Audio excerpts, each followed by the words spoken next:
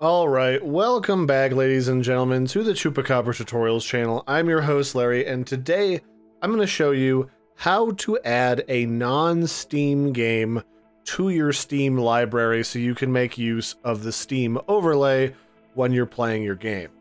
So one of the lesser known features about Steam is you can manually add games to your account and to your library. This means that if you get a key from like a third party reseller that's for Steam, you can input it and you can also launch other games from other launchers through Steam so you can make use of all of its features. So the simple answer of how to do this is when you've got your library page open, down in the lower left-hand corner, there's a little add game button. And there's three options here. You can browse the Steam store for games that you want to play. This is basically just going to the store. You can activate a key for a product that's on Steam that you got a key from somewhere. I, as a person who used to do a lot of game reviews, would use this feature a lot. Or you can add a non-Steam game. I'm going to go ahead and click on that option. And then here in our little pull down, you can see you can launch like any program you want through Steam and use the overlay. I could even do it through Photoshop and stuff. But that's not really what I want to do. Although it looks like I've I've managed to lag out Steam slightly as it loads all the software on my computer.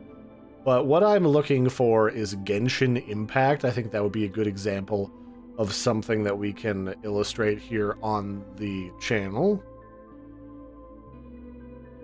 So let's go down to G, and then under G, here it is, Genshin Impact. We can click that in the list, and then we can say add selected programs, and then over here in the sidebar, Genshin Impact will be loaded. Although, because this is not an actual Steam game, you don't get the same artwork. All you get is down over here in the list. You get the little icon that it loaded from the actual software on your computer. Otherwise, you get a lot of options for how to manage it. You can browse local files, you can remove this from your library, hide this game, add a desktop shortcut, you can add it to favorites or a collection and all that jazz. But you don't get the same level of controls you would over, say, like a Steam game, like Deliver Us the Moon. If I select on these different uh, options, I have the option to browse local files, uninstall. I can actually go to the properties of the game and I can go through and set up controller settings. I can enable betas, browse local files, and verify the integrity of the installed files on my computer to make sure there's no errors. So you don't get the same level of control, but if you want to see it in your library because you forget what games you have installed on your computer and it's easier to decide what you want to play today, then you can add it like that, click it, and then play it.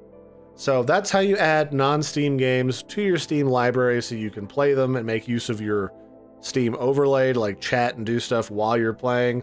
I hope you found this helpful. I've been your host, Larry. Don't forget to like and subscribe, and I'll catch you next time. Bye, everybody, and have a good one.